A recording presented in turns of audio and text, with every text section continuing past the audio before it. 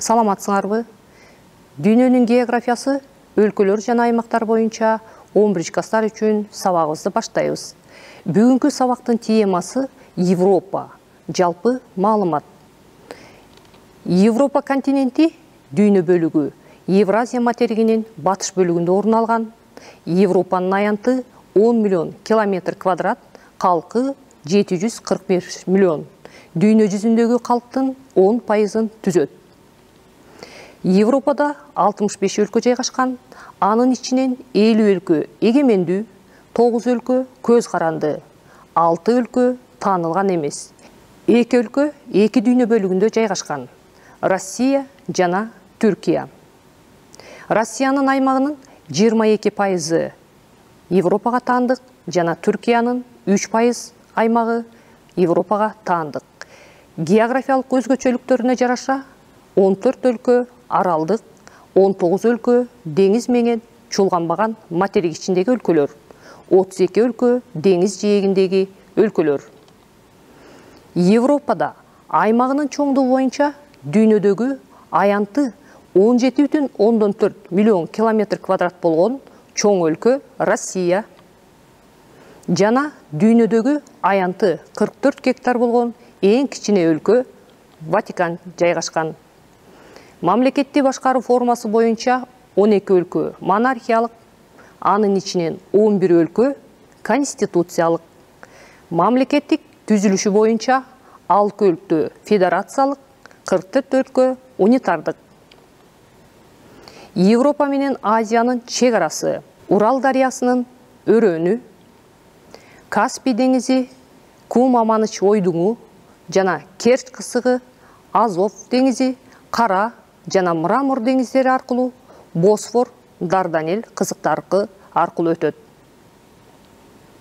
Европа түндүгүнөн жана түндүк батышынан түндүк муз океаны жана анын деңиздери батышынан жана түштүгүнөн атлантика океаны жана анын деңиздери менен түштүк чыгышынан туюк каспий көл деңиздери менен чуулганат европанын эң четки тумшуктары түндүгүндө норткен тумшугу түштүгүндө марокки батышында рока чыгышында уюлдук уралдын байдарата булуңуна жакын жайгашкан чыгыш этеги.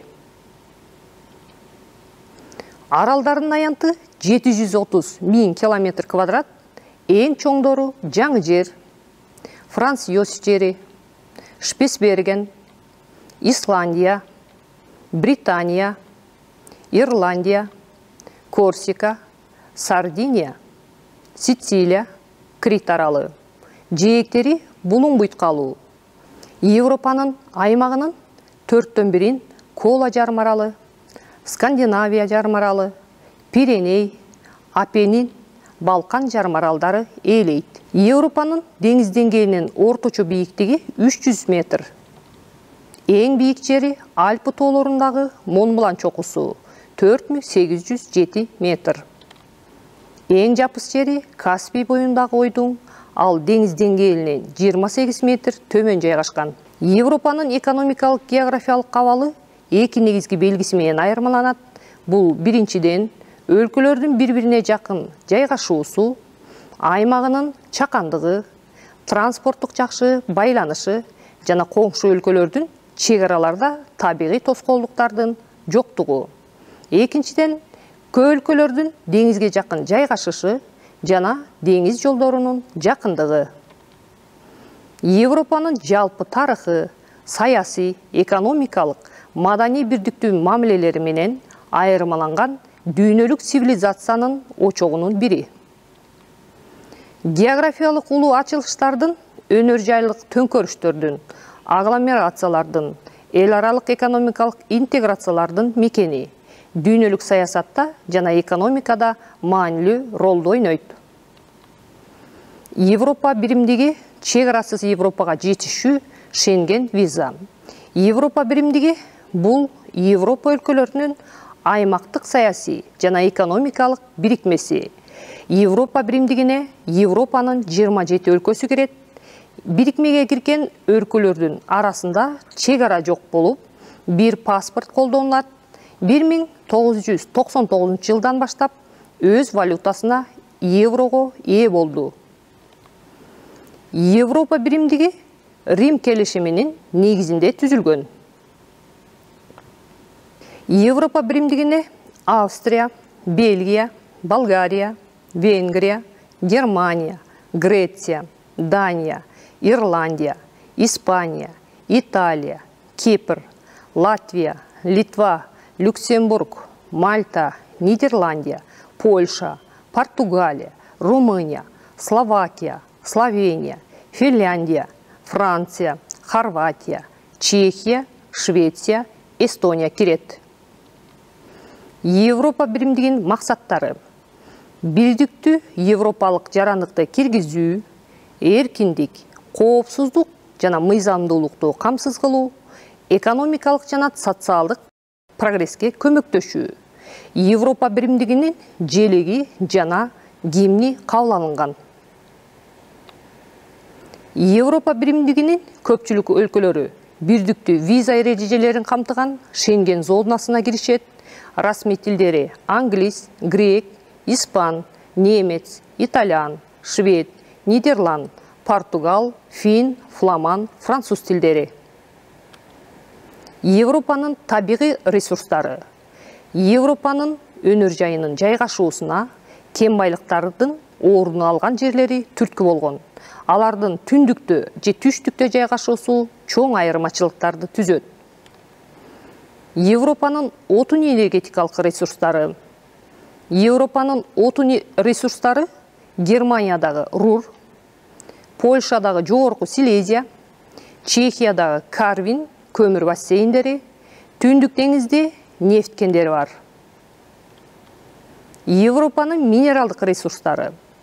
Еуропаның рудалуу кен байлыктары франциядағы лотарингия швециядағы коруна боксит кени венгрияда францияда хорватияда жайгашкан европаның түштүк жагында магма жана кен таштары басымдуулук кылат ар бир өлкөдөгү кен байлыктардын комплекстүү эместиги анын тектоникалык түзүлүшүнө байланыштуу европанын суу ресурстары. Европа түндүгүнөн жана түндүк батышынан түндүк муз океаны менен батышынан жана түштүгүнөн атлантика океаны жана алардын деңиздери карс деңизи баренц деңизи ак деңиз норвег деңизи балтика деңизи түндүк деңиз жер ортолук деңиз кара деңиз азов каспий деңиздери менен чуулганат европанын дарыялары европанын аймагы аркылуу көп дарыялар агып өтөт кээ бирөөлөрү мамлекеттер ортосундагы чек араны түзүшөт европадагы эң узун дарыя волга анын узундугу 3692 километр. Дунай дариясы ұзындығы 2860 километр. Днепр дариясы ұзындығы 2290 километр. Дон дариясы ұзындығы 1950 километр. Европаның көлдөрү. Европаның аймағында аянты 1 гектардан ашқан 500 миң көл бар. Алардың төрттөн үч бөлүгү норвегия швеция финляндияда жайгашкан. Эң чоң көл ладога. Анын аянты он жети миң алты жүз жетимиш километр квадрат. Анега көлү тогуз миң жети жүз километр квадрат. Европанын жер ресурстары.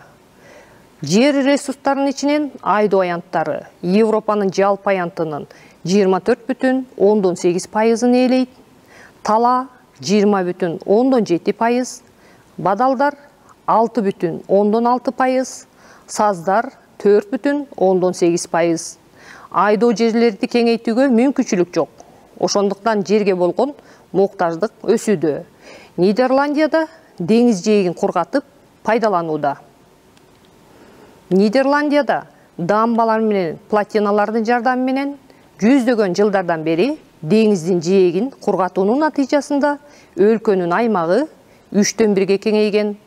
Кудай жерди жаратса голландиялыктар голландияны жараткан деп айтышат. Нидерландияда мурда деңиздин булуңу болгон эйселмер көлүн кургатып бүтүрүштү.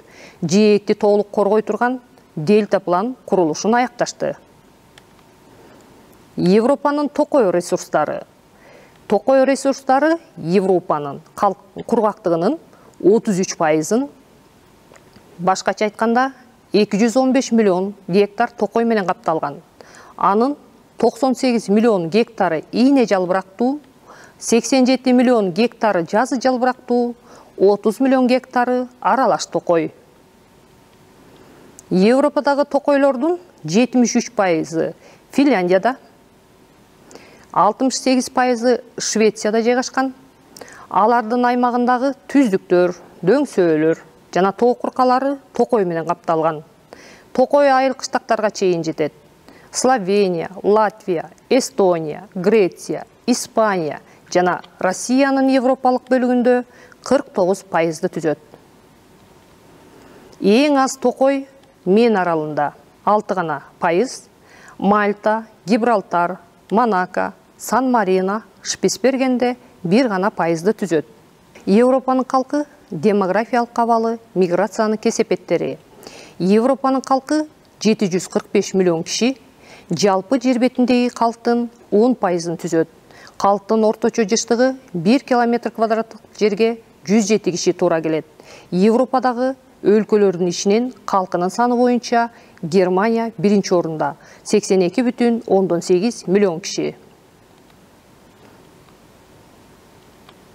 европанын калкынын жаштык курамы бириккен улуттар уюмунун эсептөөсүнө караганда европанын калкынын он жети бүтүн ондон бир пайызы алтымыш бештен жаштан жогоркулар он жети бүтүн ондон төрт пайызы балдар өспүрүмдөр он беш жашка чейинкилер алтымыш беш бүтүн ондон беш пайызы жумушка жарамдуулар он алты жаштан алтымыш төрт жаштагылар европанын калкынын жыныстык курамы бириккен улуттар уюмунун маалыматы боюнча бүгүнкү күндө европада аялдардын саны сексен беш миллион эркектердин саны үч жүз алтымыш миллион. Бул абал эркектерге караганда аялдардын бир нече жылга узагыраак жашаганы менен мүнөздөлөт улуттук курамы жагынан бир кылка. Иында европалык тил түркүмүнө кирген славян балтика герман кельт роман грек тилинде сүйлөшөт. Европада басымдуу дин христиан дини. Католик протестант агымдары урбанизация деңгээли өтө жогору. Шаар тургундарынын үлүшү жетимиш пайыздан токсон пайызга чейин европанын калкы жай өсүп жатат калктын өсүп толукташы демографиялык саясаттын көргөн чараларына карабастан депопуляцияланып калктын жаш курагы өзгөрүп улгайгандардын үлүшү көбөйүүдө географиялык улуу ачылыштардын мезгилинде миграциянын очогу болгон европа өткөн кылымдын токсонунчу жылдарынан баштап иммиграциянын очогуна айланды. Ал жерде жыйырма миллиондон ашык чет элдик жумушчулар үй бүлөсү менен жарандык укукка ээ болбой жашап жүрүшөт. Алардын көбү германияда. Немисче аларды гастербайтерлер деп атап коебуз. Эмгек мигранттарын кабыл алган өлкөлөр кошумча арзан эмгек ресурстарынын булагына ээ болду. Мигранттардын келиши ал өлкөлөрдүн калкынын өсүп толукталышына жана жаш курактарына таасирин тийгизет. Ошону менен катар ал өлкөлөрдүн калкынын сапатын начарлатып көптөгөн социалдык проблемаларды туудурат. Германия федеративдик республикасы европанын батыш бөлүгүндө орун алган. Балтика түндүк деңиздери менен чуулганып кургактыкта тогуз өлкө менен чектешет. Аянты үч жүз элүү жети миң километр квадрат. Калкы сексен эки бүтүн ондон сегиз миллион киши мамлекеттик тили немис тили германия европанын экономикалык жагынан эң кубаттуу мамлекети батыштын чоң жети өлкөсүнүн бири ал европалык гана эмес дүйнөлүк экономикада жана саясатта маанилүү ролду ойнойт германиянын экономикалык географиялык абалынын маанилүү өзгөчөлүгү биринчиден анын борбордук абалы экинчиден кеңдик жана узундук боюнча кеткен транс европалык соода транспорттук жолдун боюнда жайгашышы үчүнчүдөн балтика жана түндүк деңизгерге чыгуунун кеңири мүмкүнчүлүгү төртүнчүдөн рейн жана дунай дарыяларын пайдалануусу бешинчиден батыш чыгыш түндүк европанын тогуз өлкөсү менен чектешкендиги. Чектешкен өлкөлөр дания польша чехия австрия швейцария люксембург франция бельгия нидерландия. Башкаруу формасы германия эки палаталуу парламенттик республика. Өкмөттү канцлер башкарат. Президент расмий мамлекет башчысы бирок өкүлчүлүк гана милдетти аткарат. Аймактык администрациялык формасы он алты тарыхый жерден турган федерациялык мамлекет. Ар бир жердин өкмөтү жана шайлана турган мыйзам чыгаруучу бийлиги бар. Калкы германия европадагы калкынын саны боюнча эң чоң мамлекет. Калкта депопуляция процессинин жүрүшү эмгек иммиграциясынын эсебинен токтоп жатат иммигранттардын саны боюнча германия европада биринчи орунда турат алар өлкөнүн калкынын ондон бир бөлүгүн түзөт калктын жыштыгы бир километр квадрат жерге эки жүз отуз кишиден беш миң кишиге чейин туура келет германия дүйнөдө эң жогорку урбанизацияланган жана агломерацияланган өлкө. Германия эски шаар маданиятынын өлкөсү. Көптөгөн шаарлары өздөрүнүн чыгарган белгилүү буюмдары менен таанымал.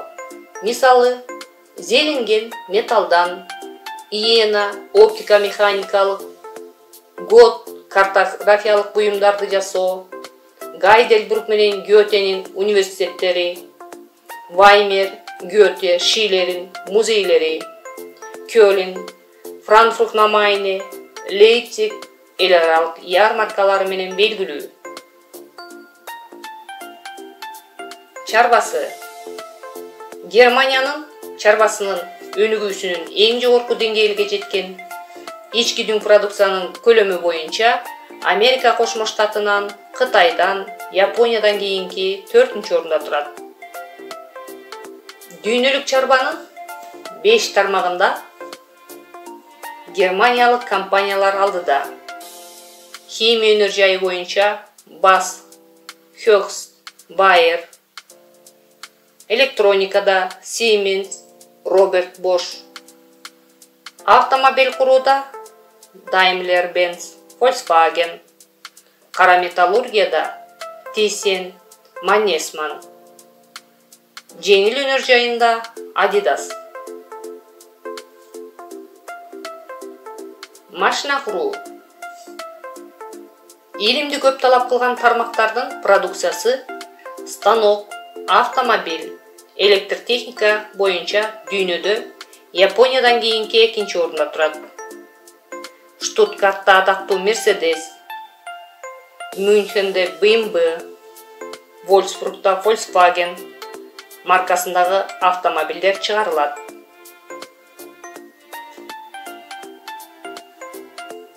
отун энергетикалык чарбасы көмүр казып алууга багытталган электр энергетикасын тез түзөт германияда он төрт аэс бар. Ал электр энергетикасынын отуз эки пайызын түзөт айыл чарбасы. Германиянын айыл чарбасы жогорку деңгээлде механизациялаштырылган. Алдыңкы тармагы мал чарбачылыгы дыйканчылыгынан эгин өнөр жайлык жана тоют өсүмдүктөрүн өстүрүшөт. Транспорту транспорт жагынан баардык түрү жакшы өнүккөн. Темир жол авиация автомобиль кул түтүктөрү жана ылдамдыкта жүрүүчү транспорты жакшы өнүккөн тышкы экономикалык байланыштары.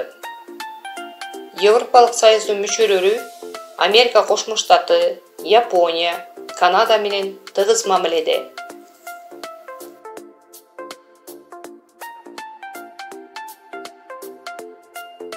Бүгүнкү сабагыбызда европа жөнүндө маалымат алдык. Саламатта калгыла